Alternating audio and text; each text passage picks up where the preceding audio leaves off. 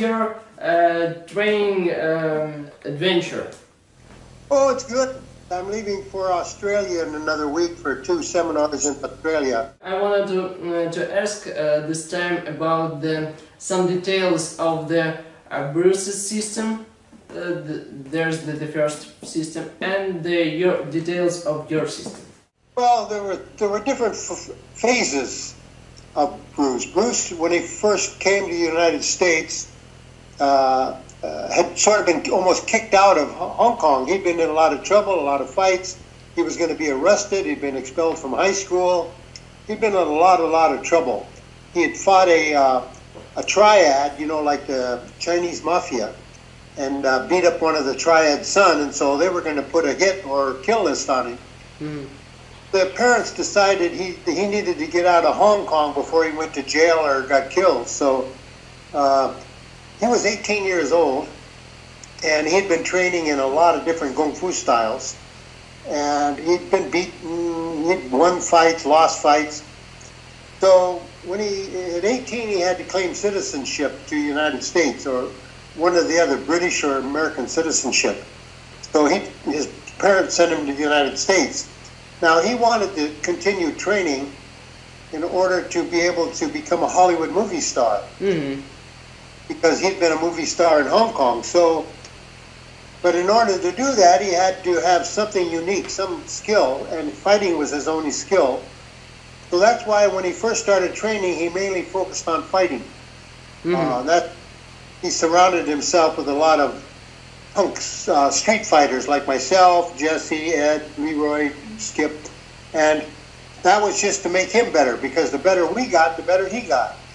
Mm-hmm once he learned, once he developed his basic fighting skill, what he believed would allow him to beat anyone, he decided he needed to be able to start making money in order to go to Hollywood. So he started to teach a structured, organized uh, martial arts system that he called Jun Fan, or his Chinese name, Jun Fan Li. Jun Fan Li. Uh-huh. Fan, he called it Jun Fan. Uh-huh. And the, the the reason he did this is just to make money. Mm-hmm. But he didn't want to teach people to beat him.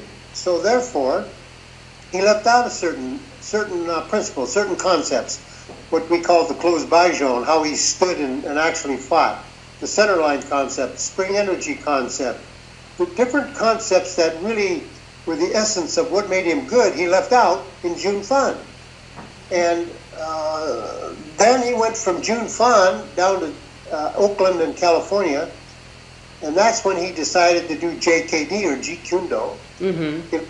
create a system that he could open up schools and make money. Uh, but he still left out those key elements. And of course, from there, he went on to become, you know, the Hollywood movie star. But actually, there were three phases of his training. One is his fighting style, which is was 59, 60, 61 period. And then he moved to the Jun Fan period, which was his uh, uh, making money to get away from Ruby Chow's restaurant. And uh, uh then he went to the JKD period, which is to uh, become much more flashy. In other words, Jun Fan did not have kicks and flashy movements, whereas JKD did. JKD had a lot of very visual kind yes. of movements, and he needed those for the movies. So he started to get into a lot of kicking. What, Whereas in fighting, Bruce did not believe in kicking at all. Uh, in, in Jun Fan uh, was not kicking. No, there was, there was not. He did not emphasize kicking in Jun Fan. Uh, his, the real emphasis on kicking came in Jeet Kune Do in, June, in his uh, LA period, because he found that that movies and theaters he needed something very visual. And Wing Chun is a very tight, quick system. It's not very visual. In other words, you cannot see what's going on because it's mainly field, close quarter combat. Mm-hmm. So he started to do a lot more exaggerated movements, and kicking was one of them. Mm-hmm. You know, noticed how much he kicked in the movies? I mean, he was always kicking. Mm-hmm. That was because it was very visual. Uh-huh. And, uh, you know, Chuck Norris, very, very visual kicking. Yes. So that that is why Bruce focused on kicking, making people think that he kicked a lot. Whereas in fighting, he believed that kicking was the worst thing you can do because that meant you gave up your base, you gave up your, your mobility, you gave Yes. up your, your stability. So if someone got a hold of your leg, you could easily be manipulated and controlled. So Bruce did not believe in kicking in a fight Mm-hmm. Mm-hmm. because it was illogical. Mm-hmm. So, because he was very small frame, so he knew that he had to have a good solid uh, base for power, for controlling the opponent, and he couldn't do that if he had one leg flying around. Mhm. That was the three phases of, of Bruce's fighting. Mm-hmm. Mm-hmm. So it was it was just a hand uh, hand fight. Bruce was a trapper, which meant that when Bruce fought, he did not want to get hit. And in order not to get hit, he had to control you. So in order to control you, he had to be able to engage you and control your arms. But by controlling your arms, he also controlled all of your body movement because when he touched you, he grounded you. In other words, he used spring energy, ground you so that you could not kick or move. So therefore, Bruce knew that if he got within range where you could hit him, he had to control you so that he could, could stop you from hitting him. That's why Chi Sao Yes. Yes. important Mm-hmm. because it was the basis for trapping. Mm-hmm. Mm-hmm. Yeah, I understand. What uh, this this is all the difference uh, mm, from the uh, the first um, system of Bruce Lee and the Jeet Kune Do. Yeah, there were three. There, There are three. the fight not a system. The fighting was just totally. Every day we, we, we trained in something different, or Bruce was always thinking of different ways to do things. There was no structure, no organization, no white belt, yellow belt, orange belt, anything like that. Mm-hmm. We didn't even look Bruce at Bruce Lee like Sifu or the instructor. He was just Yeah. a guy who knew a lot of stuff that we were training with. Mm-hmm. So uh, a lot of times someone else would kind of lead the class, showing things about boxing or judo or jujitsu or something. So it was just a mixture of training. It was only when he got into Jun Fan mm-hmm. that he began to organize and structure rank levels one, two, three, four. We'll first do Yes. this, then we'll do this, then we'll do that. So that's where the actual structure and system. That's why you can look at Jun Fan as a system because it had organization and structure. Jeet Kune Do had organization and structure. You had levels. You had, you know, tips of uh, different ranks that you went through, learning different things. Yeah. Did not have that in the beginning. That was totally non-existent. It- We just didn't have any rank or any structure or any form. So that's why you have to look at the the evolution of what Bruce did from nothing, just pure fighting, which is art. That's what I teach. I teach Bruce Lee's core principles of, of what he used, what was speed, what was power, how do you trap, where, where do you begin in trapping, what is spring energy, why do you stand like you do, what do we mean by setup, entry, engagement, and, and control. That's what I specialize in, because that's all we did in those days. Mm-hmm. What what kind of uh, what what kind of punches uh, he had at this at that time? Well, he started off with the classical Wing Chun punches, the center line control punches, which are, are mainly through the center. Uh-huh. And then the, the, the reason for the center line punching was to control the center line, just to keep the opponent's energy outside of the center line. Yes. Because by doing that, you kept the opponent's energy open and wide. But when you punch through the center line, the problem biomechanically, from a science standpoint, is it's a weak punch. Because of the angles that energy is traveling up the arms, it is not really a power line. So therefore, it took a lot more effort to try and hurt someone or you know knock someone down, which Bruce at 135 pounds found it difficult to do because some of us were 100 pounds more than him, mm-hmm. 7,500 pounds. So he couldn't hurt us with the center line punch. He could he could frustrate us, he could hit us, but with like bee stings. Mm-hmm. So we began to change the way that we hit to what we call the power line, where we structurally, when we hit, actually align the bones and the body so that you could transfer power much more effectively than the center line punching. But you still had from the center line, you could control the center line Yeah. by your elbows out. Yes. Now this to a power line line, Uh-huh. but it also did the center line. So Bruce found that when he hit, and you have to underline underline the word hit. When he hit, he used the power line. When he went in to engage, he used the center line of flourishing. you know, just very fast Yeah. because it it and, and, and disorganized the opponent. But once he started to hit, Bruce used the power line, which I refer to as the power line. It's a certain way of striking with what we call the chung choi. Ching ching. Mm-hmm. So now, you know, a lot, a lot, a lot of people from around the world have been asking me about the structure, and what I'm putting online in the next few weeks mm-hmm. is a is a presentation in video and of all these principles: the center line principle, the stance, why I do it, and everything else. A site called Teachable. Teachable is a site that presents academic information that people uh, can can uh, get to actually train in. In other words, rather than to throw a whole bunch of stuff, a lot of people are only interested in certain things. So what I'm going to do is I'm going to present like uh, blocking techniques, the Tan Sao, Pak Sao, Lap Sao, how we did them and why we did them. Mm-hmm. The- Now the thing is that, in other words, what is the difference between the Jun Fan stance and the JKD stance, and and uh, and the closed Bajon that we did? Well, there's a lot of difference, and uh, I, I want to show people the difference. So that way, there they'll be able to know what Bruce D. Lee did in those early days in Seattle when I trained with him, versus when he trained with Taky Kimura and uh, Danny.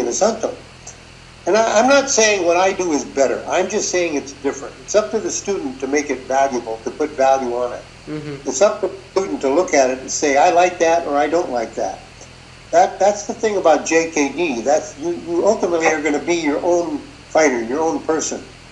So my JKD, my Gamal JKD, is my interpretation of my period of time with Bruce Lee. Mm-hmm. Yeah, I it. Mm-hmm. So So, that's what teachable uh, program will be about, and that's that's just because I'm I'm too old now. I'm almost 80 years old, and, and I'm just tired, and I, I cannot do a lot of the things. So I need to present them while I can still present them. yes, yes, you can present the science of the martial art. People can people can And say, well, Jim DeMile said this and Jim DeMile meant that. Well, how in the hell do they know what I said meant more than I do myself? So Yes. that's why it's important that I present these things personally rather than let someone else do it. Yes, yes, yes. Yes. Can I ask you um, about the what what is the role of the uh, direct punch uh, with the front hand? Was there uh, in the in the first system? Was it in uh, in the Jun Fan? You mean where they lead with the right hand? Yes, yes. The the first Bruce would never do that in a fight. never. Bruce, ne- Bruce never. Well, let's think about it logically. Bruce was a trapper. One of the essence key elements of Wing Chun is mm-hmm. to seek the hands. In other words, they want to trap. Now, in order to trap, you have to engage the hands. So when you enter, what you want the person to do is bring up their hands and do something to defend. So that's that's the thing that I that I underline when I'm when I'm uh, talking about in a real fight certain things you do not want to tell your opponent. One is that you're a fighter in the first place. Another is, is that whether you're right-handed or left-handed, whether you're a boxer or a kicker. In other words, you don't want to give him this information because that makes him uh, more difficult to deal with because he knows more about you. Bruce's whole thing was he should know nothing about you. So Bruce, when he started the fight, did two, one of two things. One is distance. He made sure that he was slightly out of your reach so that he could react if you did something. Next, he always stood with his hands by his side, or he played with his upper button. He would go like this. Because from there, boom, he could just suddenly leap out. Uh huh. But if he went like this, you didn't know whether you were he was left-handed or right-handed. You didn't know whether he was a boxer. He stood in such a way that he could close on you, but you didn't look like it. In other words, his feet were were slightly spread. His right is leaning slightly, but it didn't look like he was in any kind of a stance. So this gave him a chance now to engage you, either to absorb your energy if you attack him, or for you to reach out and strike at him, to be able to to uh, force his hand, the opponent's hands, to come up. Now the reason he did that is because he wanted to engage them. Now my whole point is that if I'm standing in front of you with my right hand leading in any form, Yeah. I'm dipping my hand. Yes, yes, You know I'm right-handed if I'm right leading, you're left leading. yes. Well, that's stupid. Right away, I'm telling you I'm a martial artist or I'm not a victim. So therefore, it's going to be harder for you to, for me to attack you because that means you're going to be more ready because you're leery of me. Of course. Do that. So that's why one of the things that Bruce never did is extend his hand out.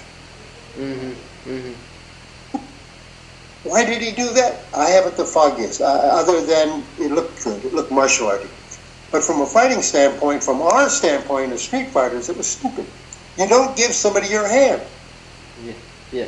If I put out my hand, that creates a distance of a threat. That means you're going to stay further away from my hand if you feel threatened.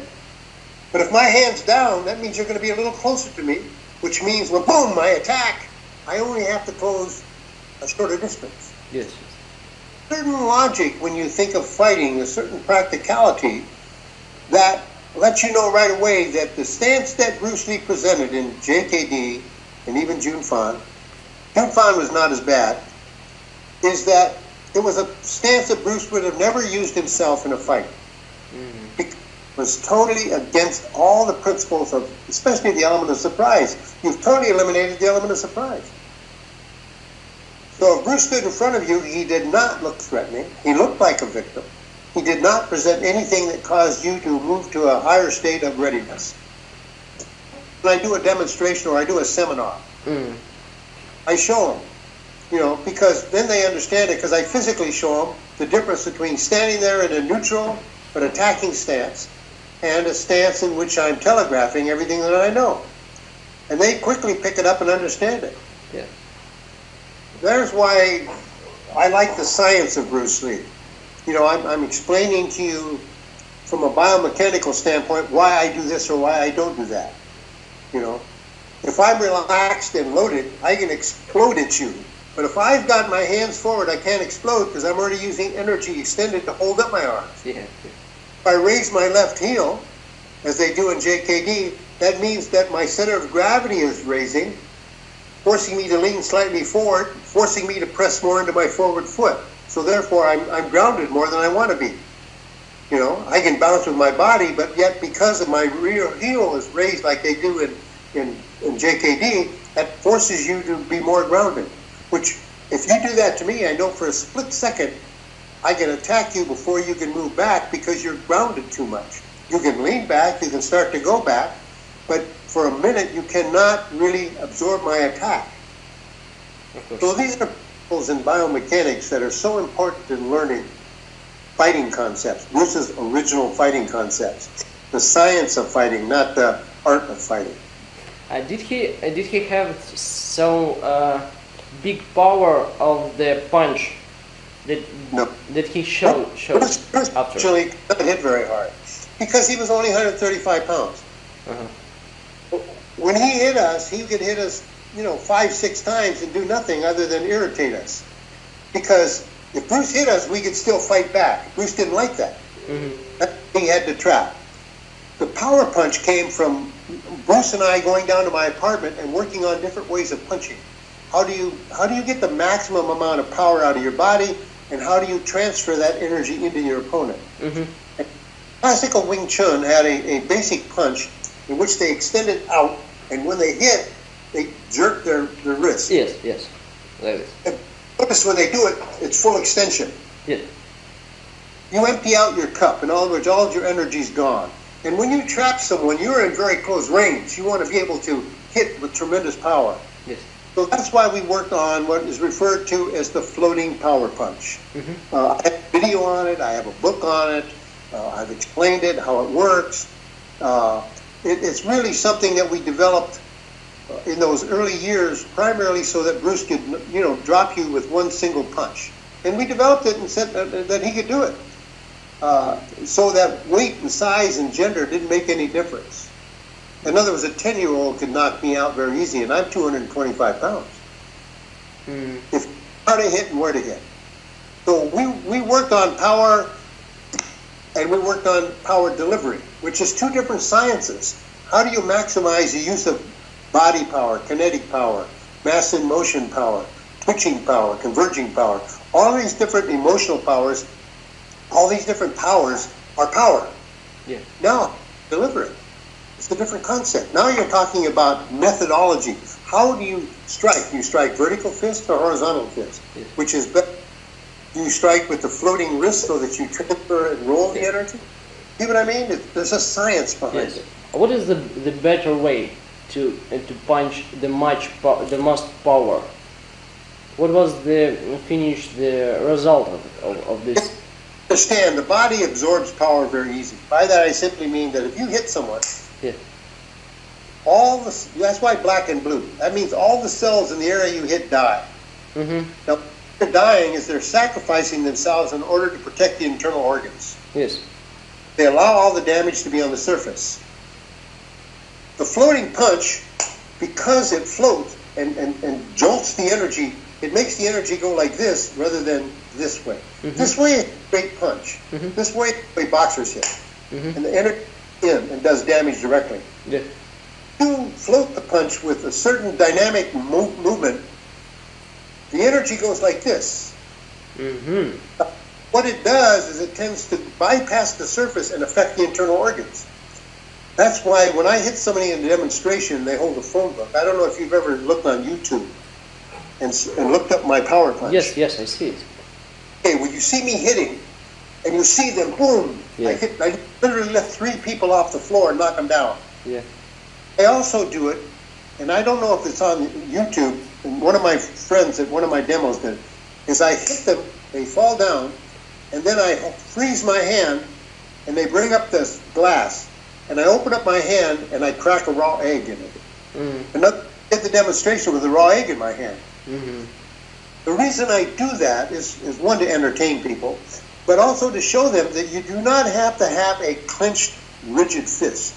What you have to have is power alignment so that the knuckle, wrist, and Yes. forearm Yes. must are in alignment. Online. Mm-hmm. So that way there, you can hold your hand actually very loose and do tremendous damage. So between my alignment of power and my floating of the wrist, I create this here shock. That's why you see the first person I hit begin to lift off the floor. Yes. Yes. go straight back. So this is where the the power itself is one thing, and the way that I hit is two things. In other words, I actually have two things, two separate arts going on at the same time: the art of method of striking Yes. and the power. Mm-hmm.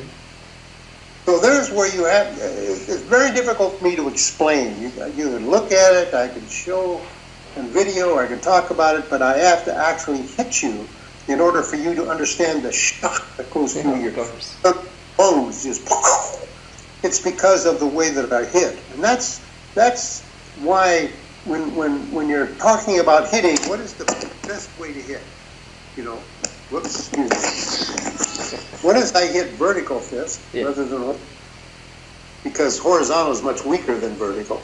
It's much than vertical. Primarily because it's like if you take your hand and you extend it with vertical fist straight forward, mm-hmm. you feel your arm extending, no Yeah. problem. Yeah. That's because the bicep is relaxing, allowing the tricep to extend the arm. Mm-hmm. When you pull the arm back, the bicep engages, the tricep relaxes. Of course. The same thing and turn your hand over and move your arm out. You'll find that the tricep and bicep both tighten up. Yes. In other words, reciprocate. So therefore, you're working against your own energy. So when you see a karate or somebody hitting like that, they're actually hitting with a weaker punch because their energy is drawing back against itself because of the tricep and bicep not working together. They antagonize each other.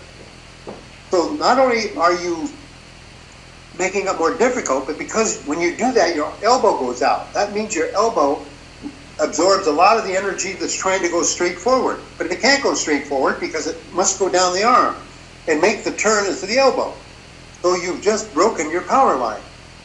Also, your arm is shorter, so therefore your range of reach is shorter because your tricep and bicep are pulling against one another. So, in other words, there's all kinds of reasons why the, the horizontal fist is weaker and not as effective as the horizontal, as the vertical fist. Uh, what, what is the role of the power, uh, the legs and the other body? Well, it depends. Like you can use the power, the, the, the legs as a base for power because anytime you hit something, Yeah. energy is going to go back up your body. For Yes. every action, there's an equal and opposite reaction, Okay. basic physics. Of course. That means if I hit someone with 100 pounds, that 100 pounds, when I hit the object, is now going to all of a sudden reciprocate and go back up my arm. All right? Now, how well I absorb that will determine how much is transferred. If my elbow is out, if I'm standing vertical and I hit, I, uh, you'd have to see some of my video demonstrations of power.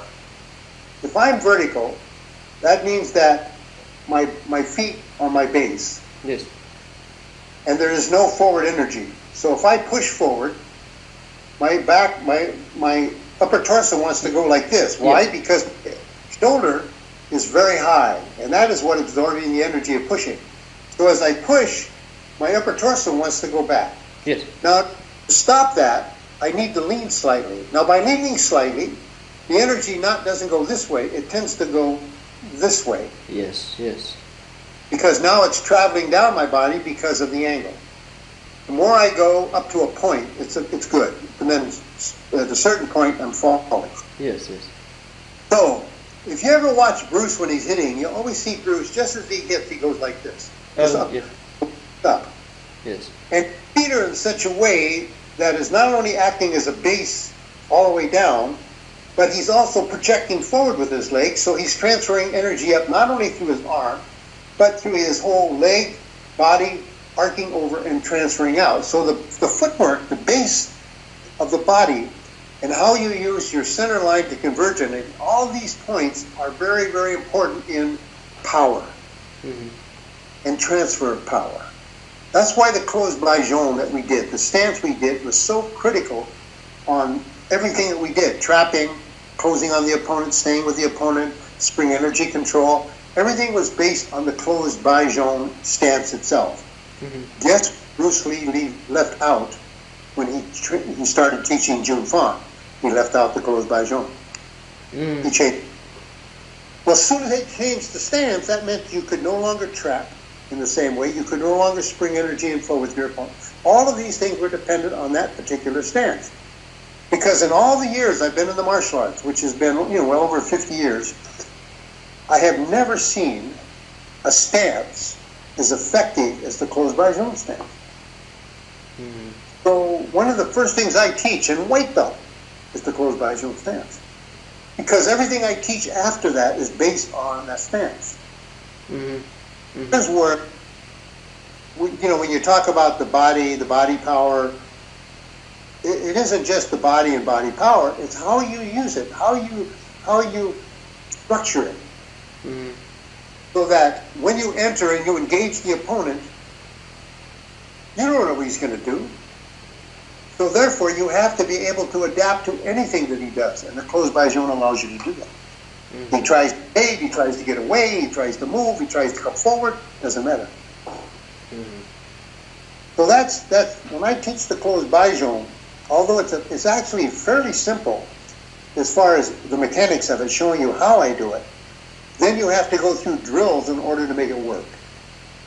You know. Uh, can I can I uh, um, to see the some some videos of the of this technique? Yeah, the, the, you know, it's it, that's one of the things that's going to be on my teachable thing. Uh huh. Okay. Jaune. Mhm. What is closed jaune? How does what is the stance? What are the angles? What what is the purpose of it? Uh, I'm, I'm going to show the center line. Mhm. People don't understand the importance, the critical thing of the center line, because they say, "Yeah, Wing Chun we have the center line." No, you don't have the center line.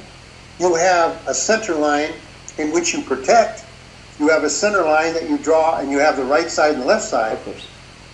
My center line is where at any time I can reach out and touch you equal with any hand. either hand. My center line is no matter how you're facing, I'm going to always be centered to your central axis. Your central axis is a point in the center of your body. Mm-hmm. Now, how you're turned to me, you have a central axis relative to me. So I'm always attacking your central axis, but I'm always square. By that I mean that at any time I can reach out and touch you with either hand. Mm-hmm. Now this gives me two advantages. One is I'm very, I have a very solid upper torso power base. I'm very structurally solid because my energy is converging directly towards you. Yes. And it turns slightly from you. I'm changing my center of energy flow from you towards the direction that my shoulders are pointing. For instance, right now I'm looking directly at you. If I go like this and look over here, I can look at you, but my shoulders are pointing over here. Yes. That means my energy is going over there, not where I'm looking. So if I if I turn to you and I go like this, that's very martial arty looking. But it's a very Yes. Yes. why? Because even though I'm projecting energy towards you, in reality my energy is going over that direction because that's where my shoulder centers is. Of course. Now that's my first reason. More power, more of a base, which gives me much more structural power for fighting. But it also gives me two weapons. Mm-hmm. I can reach you with either hand. Now, as soon as I turn away from you, I really only have one weapon. Just one. Yes. Like a gun in a holster. Does you no good unless you use it.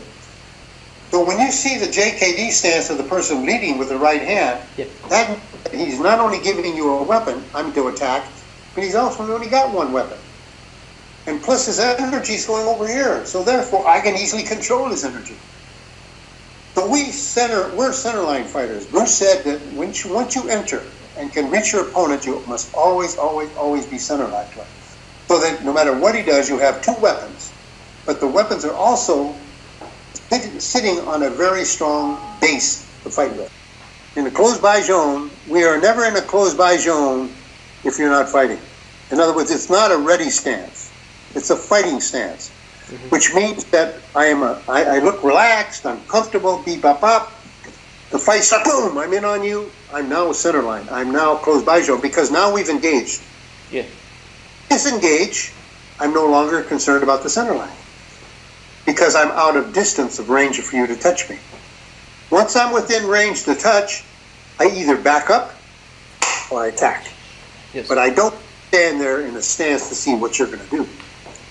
So that's why you have to understand the difference between a ready stance, a pre-fight stance where the guy's moving around and playing martial arts, and a fight stance in which you've engaged the fight is on.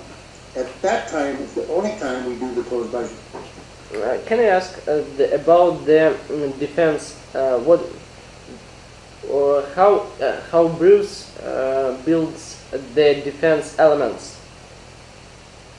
Well, we used to talk about defense when we first started. Bruce had ways of standing because of the Wing Chun stance in which the lower leg protected the groin.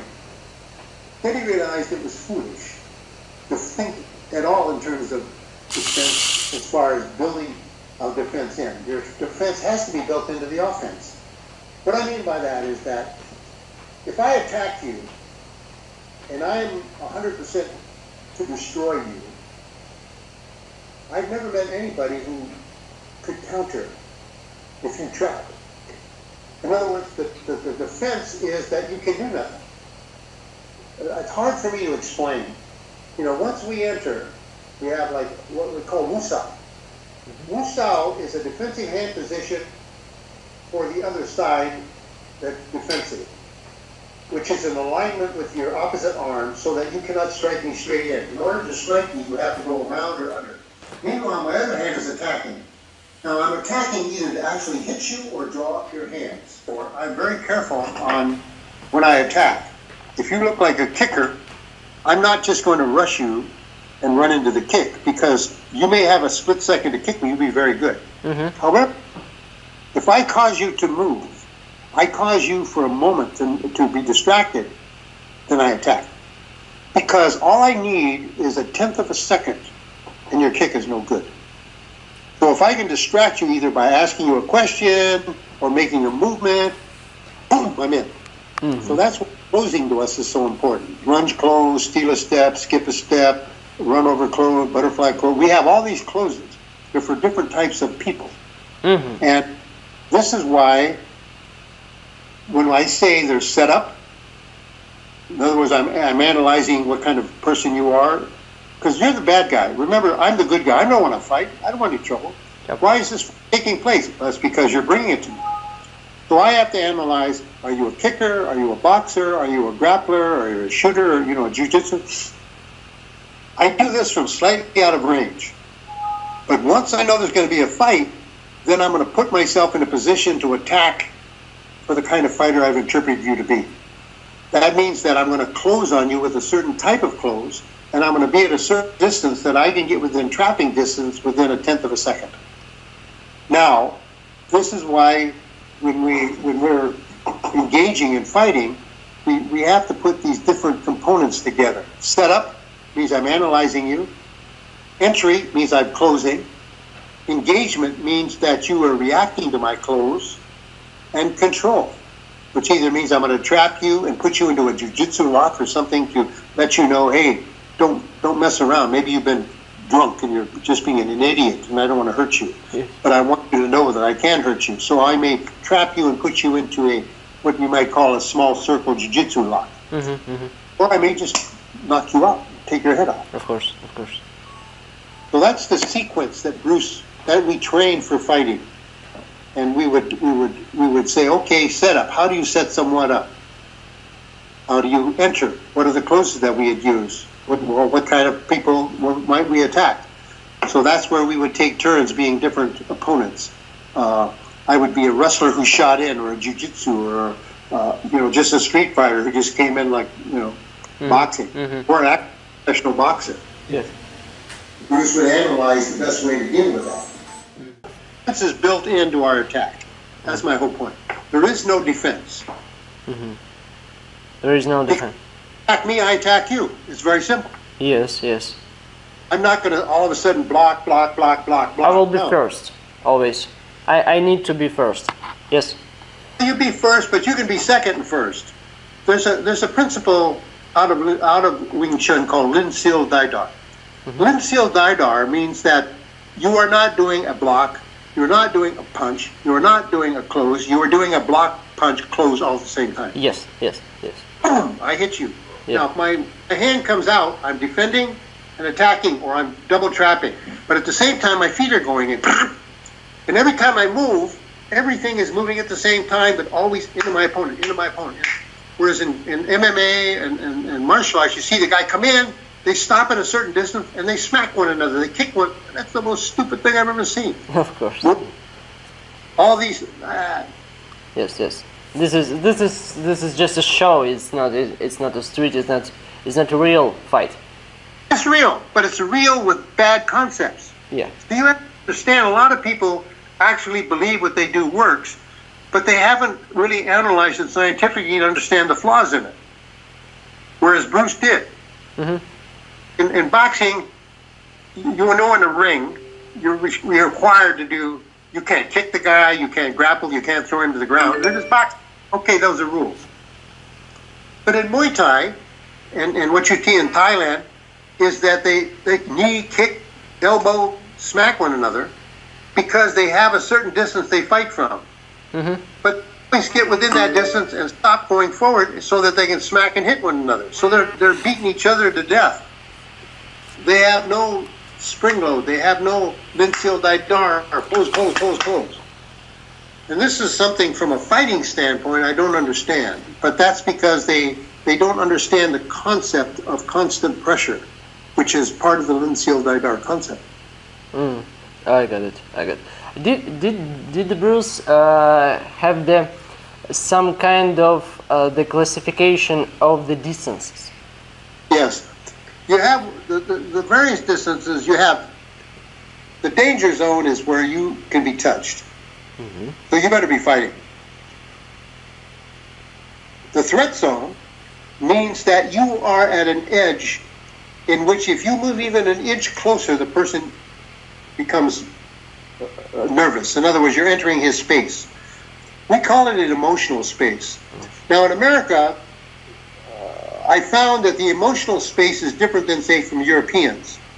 When I was in France or different countries where they were very, they kissed each other's cheek, they were very close, they were used to being very close to one another. In other words, their personal space was much closer. Yes, yes. Because of the. But in America, our space is very definitely much further out. Mm. So I teach what they call the threat zone. The threat zone means that we stand at a certain distance away from one another, and then I slowly move towards you, not martial art, I just move towards you. And what you do is you stand and you relax. At what point do you feel me enter your emotional space? There's a certain distance in which you actually will feel a sense of alarm and the tendency to want to step back. What is that distance? Well, I find that if you and I are practicing this, and I move on you, and you establish that, ooh, you're too close, I feel at the same time that same feeling. Mm. I might be six foot four, and you might be five foot two, but we will both feel the exact same threat zone distance. Mm-hmm. Yes, yes. Now, why this is important is, is that at what point distance do you train from? Do you just get up and start training? Yeah, if you want to just practice certain techniques. But if you are training for street fighting, you want to know that at a certain distance, you are invading your opponent's space and therefore setting him to alarm and make him step back. What is that distance? So that's what we train for. Why this is so critical is that if I'm going to practice technique, what distance do I practice it from? Because if I don't practice it from the right distance, I've just wasted my time. If I practice it and I feel more effective because I'm closer to you, great. Unfortunately, it won't work that way because if I get that close to my opponent in the street, he's going to back up. Mm-hmm. So I've lost my advantage. If I'm further out, I, it takes me more effort to get to him. What is that distance? That is my fighting distance in which I am the most effective to attack you or to react and absorb your energy. And we call that the threat zone. Anything outside of that is the safe zone. In other words, you're further out, you're telegraphing more when you enter, uh, it, it's more distinguishable. Any closer than that, you're making your opponent too nervous. He's going to step back. You've lost the surprise advantage. Mm-hmm. Be trained in distance, threat zone, danger zone, safe zone. Safe zone. Okay. So it, it is three, three distances. Three basic distances. Three, yeah. three basic distances. Uh, what what Bruce Lee um, thought about the release from the clinch? Did there was he? no such clinch. What else? I'm sorry. There was such thing as the clinch. Hey, if I, if you and I are messing around, how would you get out of this? How would you get out of that? Well, in a fight, you wouldn't get me in it mm-hmm. because I'm to rip your head off. The thing is about a clinch, unless you're in a bar. Yes. A guy comes up and grabs you and clinches you. Yeah. You're in big trouble if he knows jujitsu and, and, and puts you into a. Of course, of course. In, in, other words, the main thing in judo or jiu-jitsu, mm-hmm. to escape a position, you have to escape it before you are in the position. Because once you're in a choke position, you are in big trouble. Bruce Lee, I don't care who you are. So, yeah, they can practice. You can practice showing get out of this and get out. Of, but if a guy's fairly good in, in judo or jiu-jitsu and he puts you in a in a choke and he's you're in the choke position, you're in trouble. Of course. I don't care who you are. I don't care what you know. Mm-hmm. So, so the, the trick in, in practicing martial arts relative to chokes is be able to escape them before you are in the choke, in the lock itself. Once you are placed in the lock, you're in trouble. And Bruce Lee in 1959, 1960 never practiced it because it didn't exist judo was just something the Japanese did down the street in their little dojo. But and Bruce knew some jujitsu. I mean judo. Don't get me understand. He practiced and understood little, but very little. But he didn't see that as a threat in the street because how are you going to get close enough to to grab him? Mm-hmm. And Bruce wasn't a drinker. He didn't go into bars. That wasn't something like we dealt with. And but anything that you see about Bruce and choking was much later uh, in his whole early period of time when he was uh, he knew guys like Judo Gene LeBell, who was a wrestler. Then you, you could see him playing around with that. But in fighting, nah, even to this day, nah, I don't care how good you are at judo or jiu-jitsu, you're Mhm. not going to get close enough to me. You know, I'm going to rip your head off first. Mm-hmm. I got it. I got it. Um, uh, can I can I ask about the uh, defense again? Uh, just to um, to to take the point.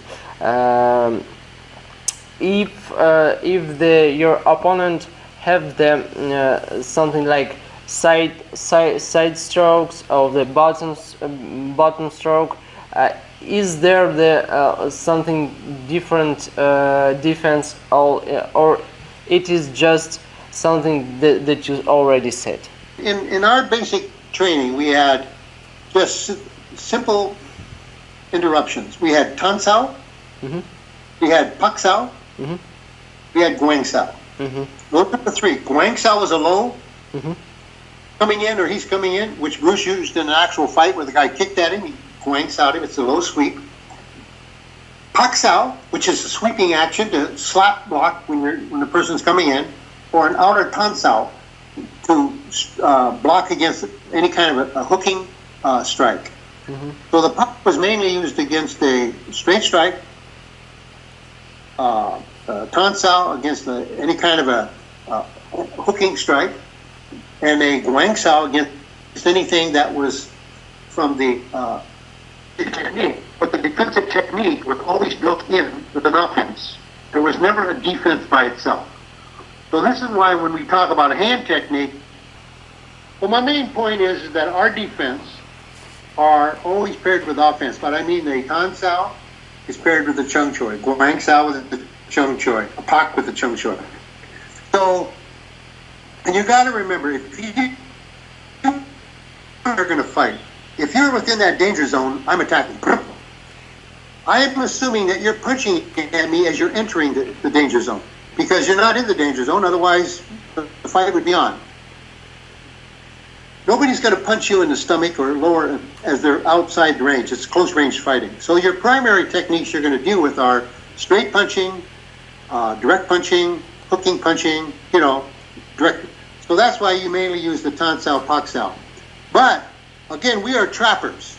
So once I engage you, I'm going to go into the trap. I'm going to become part of your energy, but I'm going to be hitting you at the same time. Mm-hmm. Very difficult for me to talk about it. It's very easy for me to show you physically, for you to feel it.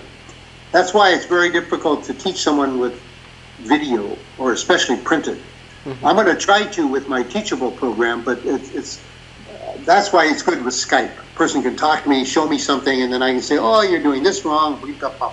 Because I, I want to do the documentary on uh, Bruce Lee, 1959 to 60, when I knew him. You know, wow that's exciting. it, it, it is a d- documentary film yes I'm a documentary. In other words, it's a movie. Uh, This is great. This is great. About the the, the, the defense, uh, if we have the, uh, the the the leg kicks, was it some defense uh, difference? I'm too close to you. Mm, ah, okay. The reason you can kick someone is because they're within a certain range. Of, of course. So if I see at all that I suspect you're a kicker or you look like a kicker, I'm going to be very careful of that threat zone. Mm-hmm, mm-hmm. Now, even if you're fast, if I'm at the threat zone, I still should have enough time to react. Did you try to kick me? Because I'm at, at a certain distance. I'll either pull away from you or I'll attack you. Mhm. But I'm not going to be within range for you to kick me. Mhm.